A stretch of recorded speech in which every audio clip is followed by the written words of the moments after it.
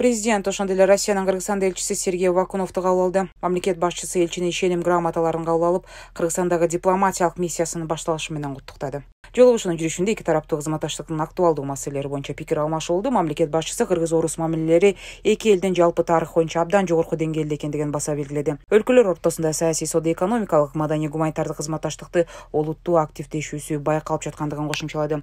Ошондой эле эки мамлекеттин өкмөттөрү ырааттуу иштеп кыргызстанда тогуз мектептин курулушу боюнча тиешелүү иштер жүргүзүлүп жатканы ысык көлдө быйыл өзүнүн он жылдык мааракесин белгилеп жаткан кыргыз орус өнүктүрүү фонду тарабынан уюштурулган кыргыз россия экономикалык форуму ишин баштаары белгиленди президент фондун өлкөнүн экономикалык өнүгүүсүнө кошкон зор салымын баса белгилеп экономиканын дээрлик баардык тармактарында алты жүз кырк миллион акш долларына бааланган төрт миңге жакын долбоорду ишке ашырып азыркы кезде ишке ашырууда деди өз кезегинде элчи мамлекет башчысына орусия менен кызматташуунун баардык багыттары боюнча позициясы үчүн ыраазычылыгын билдирип эки мамлекеттин өзара аракеттенүүсүнүн мындан ары тереңдетүү үчүн баардык күч аракеттерди жумшоого ниеттенип жаткандыгын билдирди.